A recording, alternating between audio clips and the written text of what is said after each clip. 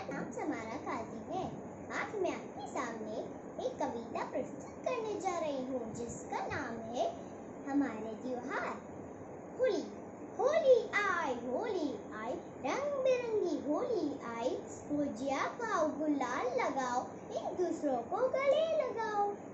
दिवाली, दीपों का त्योहार। दिवाली खुशियों का त्योहार। दिवाली घर घर पे दीप जलाओ लड्डू मिठाई खूब खाओ ईद बीता रमज़ान आई ईद खुशियाँ लेकर आए ईद हिल मिल सबको गले लगाओ लिट्टी सवैया मिलकर खाओ क्रिसमस क्रिसमस का त्योहार है आया संडा का सुधार लाया